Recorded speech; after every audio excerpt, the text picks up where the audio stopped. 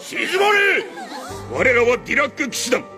主であるグレビル公の命により参った。ここにアミという娘はいるが。私だけど。そうよ。私になんなよ貴様には帝国に背いたトガがある。何よそれ。この娘を拘束しろ。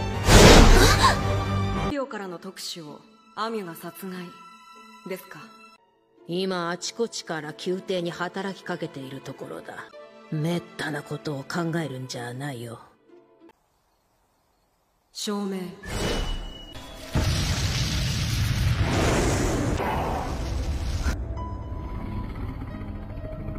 聖火様なぜそれほどまでにお怒りなのですか？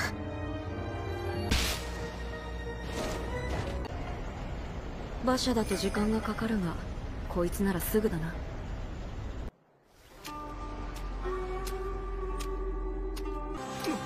侵入者貴様は何者だ。邪魔だ。従うならばその方らの命までは取らない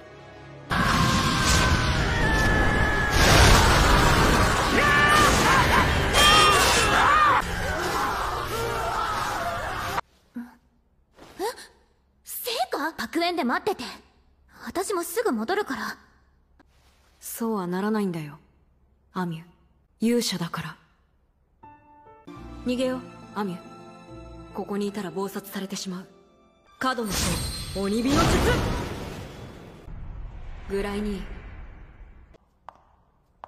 フィオナか外に控えさせているうぞうむぞうに僕の相手をさせるかい提案か物は言いようだなではなぜアミは殺されようとしている？アミさんがかつての勇者のような強さを得ることはきっとないでしょう。なぜだ？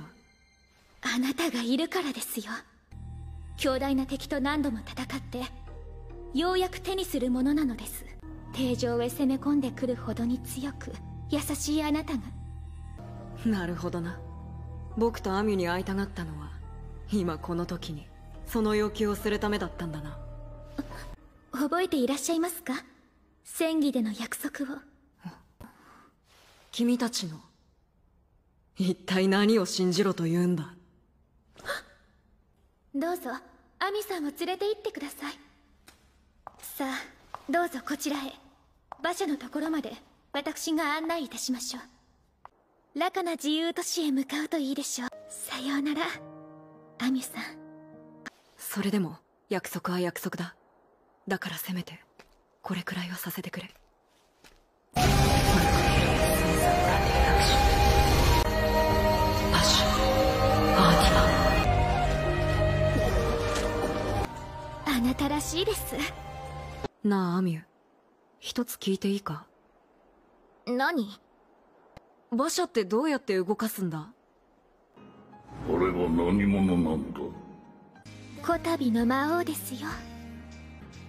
なぜ魔王様が勇者を守ろうとする？それは彼にとって親しい人だからです。それだけで。指切りしよう。僕らは繋が道でも